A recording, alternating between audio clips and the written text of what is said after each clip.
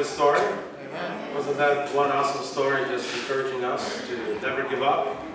And as part of our Christian experience, God is asking us to grow, to improve. And just in case if you have forgotten, that's what church really is for, is to help us become better people. Better people. You know, everybody needs training. Everybody goes into training. Even famous basketball and hockey players, they have to train in order to improve. And of course, the Bible says that when we come together and we hear a story like that, you know, Domingo, I don't need, I don't even need another sermon. I just got it, you know, for today. I, you know, that's enough. But we're going to be blessed with more than just a, just a story today. We have another interesting uh, main, our main item of today's worship is going to be the Lakeview Christian School. Now, folks, um,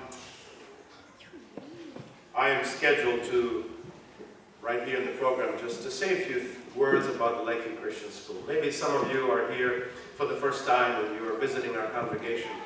Just want to let you know that this church and the one in Sydney, these are the two Seventh-day Adventist churches that really believe in Christian Adventist education. Now you're going to say, you know, what's so special about the school and, you know, maybe how old is the school? Well, just want to tell you that Adventist education has been here since 1929. Since 1929.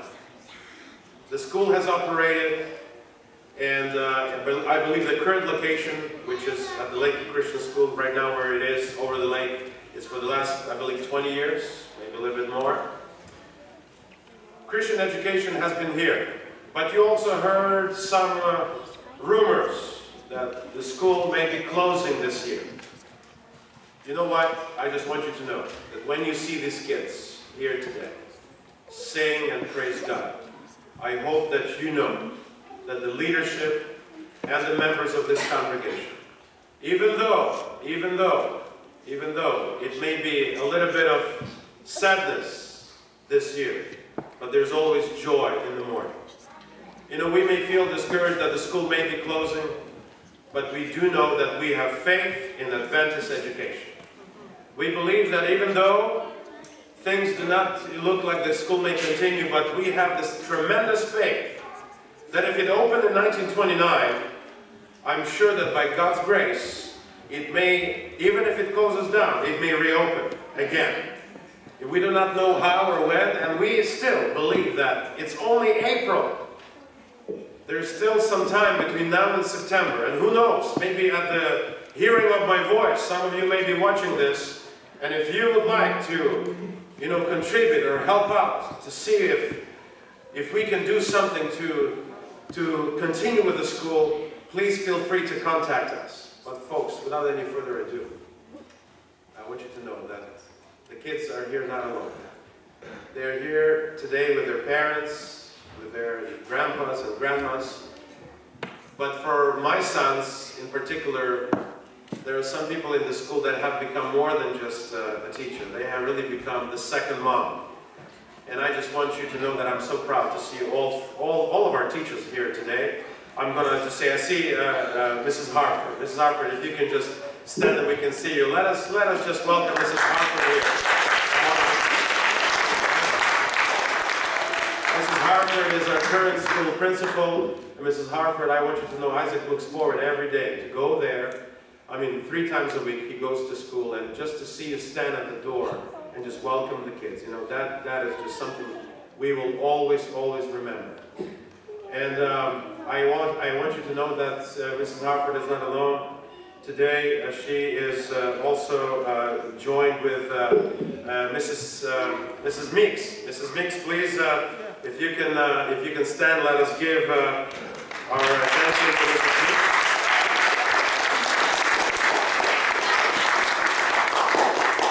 Mrs. Meeks just joined us last year, and uh, you know we honestly pray, Mrs. Meeks, that uh, whatever God leads you, that we will always remember your legacy of singing. You know, you have to hear Mrs. Meeks singing. You know, it's just incredible, and of course teaching. And you know, there's not enough it's not enough words. It's, there's not, it's totally injustice to even the few things I said about Mrs. Harford and Mrs. Meeks because there's so many things that, so many lives have been touched um, uh, in the course of, of several years or even just one year.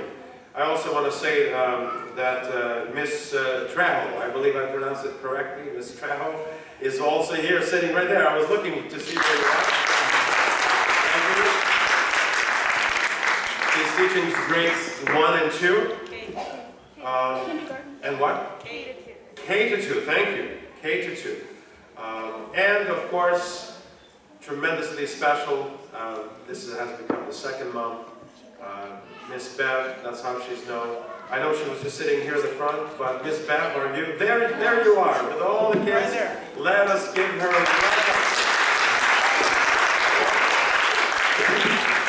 And uh, welcome to Victoria Seventh Day Adventist Church. May God bless you for everything you do. And without any further ado, we're going to have a very special scripture reading for, for us this morning, then special music, and then the kids. Not the sermon, not the preacher, but the children are going to bless us with, with their program. So this time I'm going to invite Sister Jenna to do the scripture reading for us from Proverbs chapter 22 and verse 6. Please turn your Bibles to Proverbs chapter 22 and verse 6.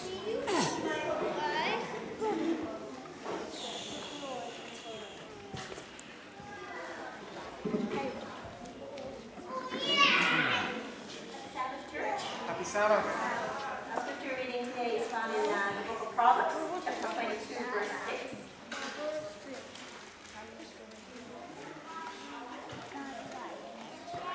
It says here, train up a child in the way he should go, and when he is old, he will not depart from it. Amen. Amen.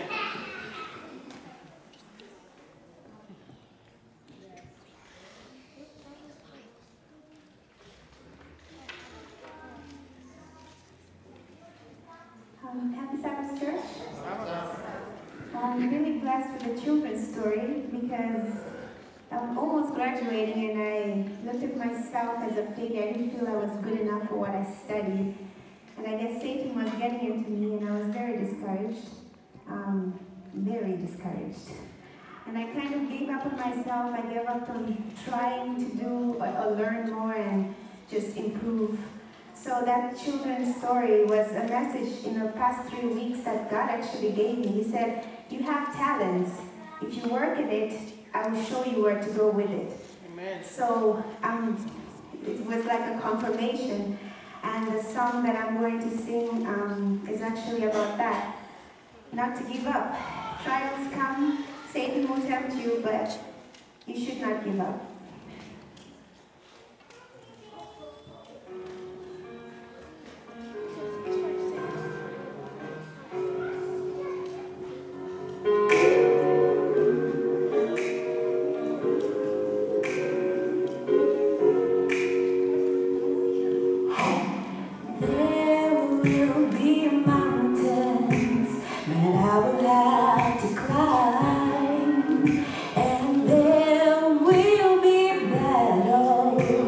and I